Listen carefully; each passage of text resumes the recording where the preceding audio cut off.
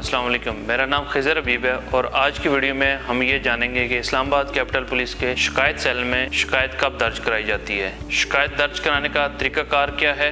और आपकी शिकायत पर अमल दरामद क्या होगा? आपकी दुरुस्त और काबिल दस्तंदाजी दरख्वास्त पर एफ़ आई आर दर्ज ना हो रही हो, आपकी तफ्तीश दुरुस्त सिमत में ना जा रही हो, पुलिस ने किसी शख्स को गैर कानूनी हिरासत में रखा हो, किसी शख्स को बेगुना मुकदमे में गिरफ़्तार किया गया हो या बदनीति से झूठी एफ़ आई आर दर्ज की गई हो, कोई पुलिस अफसर रिश्वत का मुतालबा कर रहा हो या आपके जायज़ काम में तखीर का मरतकब हो, या दौरान चेकिंग या पेट्रोलिंग आपसे किसी किस्म की बदसलूकी की गई हो तो आप इस सूरत में इस्लामाबाद कैपिटल पुलिस के शिकायत सेल में अपनी शिकायत दर्ज करवा सकते हैं। शिकायत दर्ज कराने के लिए आप इस्लामाबाद कैपिटल पुलिस की वेबसाइट के सी एम एस पोर्टल के ज़रिए शिकायत दर्ज करवा सकते हैं या स्क्रीन पर दिए गए ईमेल एड्रेस के ज़रिए भी आप अपनी शिकायत इस्लामाबाद कैपिटल पुलिस के शिकायत सेल में अरसाल कर सकते हैं। One seven one five helpline के ज़रिए भी आप अपनी शिकायत दर्ज करवा सकते हैं। सेंट्रल पुलिस ऑफ़िस में रोज़ाना की बुनियाद पर मुनद होने वाली खुली कचहरी के अंदर भी आप पेश होकर अपनी शिकायत दर्ज करवा सकते हैं। आपकी शिकायत पर मुनासब कानूनी कार्रवाई अमल में लाई जाएगी और आपके मसले को जल्द अज जल्द हल किया जाएगा।